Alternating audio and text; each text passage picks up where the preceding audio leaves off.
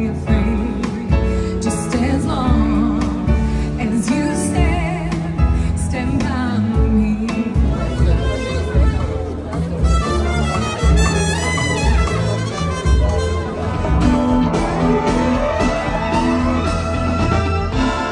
Here we go, right now, our winner for Best Motion Art NFT. Majles Series by Villa Sofia. Congratulations, our Best Motion Art NFT. I think he's making his way up here to the main stage right now. There it is. And the FT NFT is held there proudly